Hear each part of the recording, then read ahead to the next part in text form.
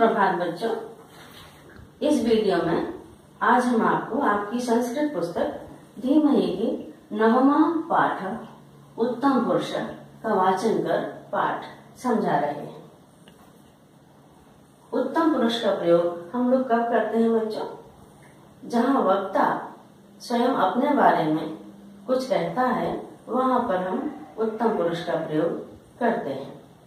इस पाठ में हम लोग पढ़ेंगे उत्तम पुरुष के कर्ता पद और क्रियापद। इसके पहले पाठों में पाठ सात और पाठ आठ।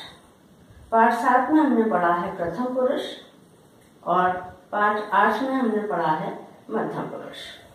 आइए जानते हैं पुरुष क्या होते हैं। पुरुष, जहाँ वक्ता किसी अन्य व्यक्ति के बारे में बात करता है कुछ कहता है, वहाँ हम प्रथम पुरुष का उपयोग करते हैं। और जहाँ वक्ता किसी दूसरे व्यक्ति के साथ बात करता है, वहाँ हम मध्यम पुरुष का प्रयोग करते हैं।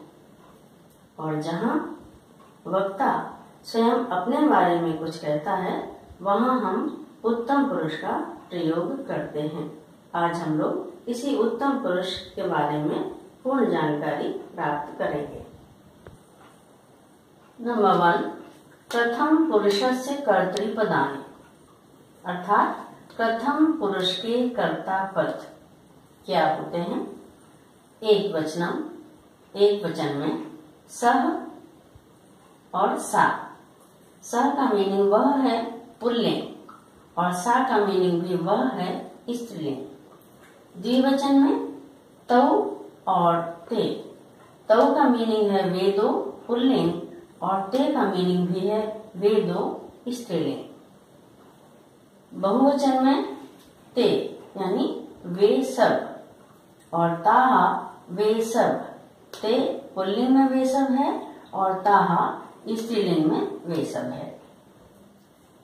दूसरा है हमारा मध्यम पुरुष से कर्तृपदानी मध्यम पुरुष के कर्ता पद। एक वचन में त्वम क्या पढ़ेंगे इससे बच्चों? ध्यान से देखिए आधार का व और म हलंत। इसे हम पढ़ेंगे त्वम जिसका मीनिंग है तुम। द्विवचन में, युवाम। जिसका मीनिंग है तुम दोनों। और बहुवचन में है यूयम। जिसका मीनिंग है तुम सब।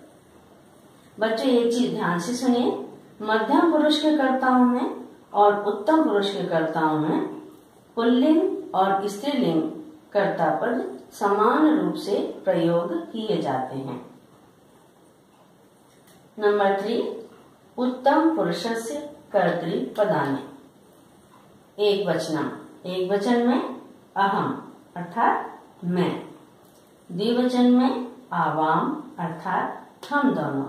और बहुवचन में वयम, अर्थात हम सब